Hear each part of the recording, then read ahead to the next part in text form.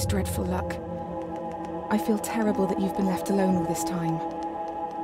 The traitorous Dr. Gray tried to steal the annular spectrum, a ring I developed to allow perception and alteration of colour. Some call them impossible colours. impossible for Dr. Gray, maybe.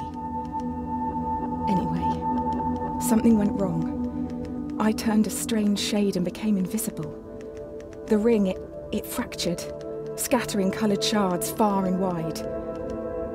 I stayed at home for many weeks, watching, waiting, existing on this coloured plane. I couldn't speak to you, nor interact with anything in the mono world. So I left. I left for the university where I hid away the coloured tools I had created. I pray you have found what is left of the ring.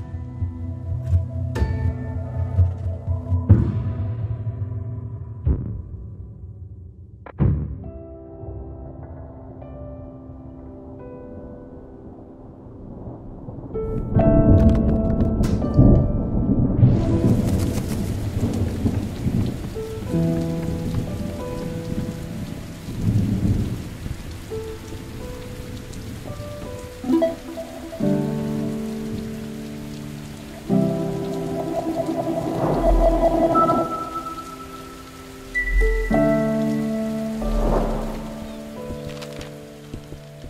the beginning, we have pointed to the sky and declared it blue.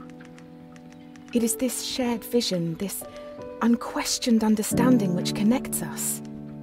But are you really seeing blue the same way I see it? Perhaps blue is nothing more than a shade of grey to you. Perhaps everyone in this world sees nothing but shades of grey. Don't you see, Hue? This. This is why we're here.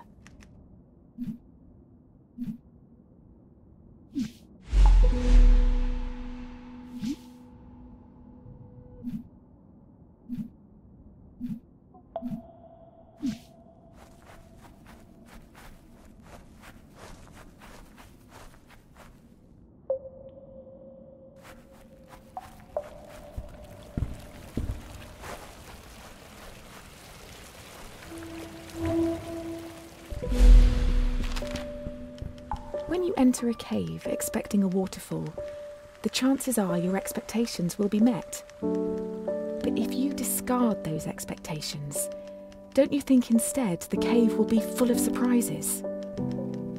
I ask for you, Hue, to abandon your expectations, to pull me back from the brink of unreality.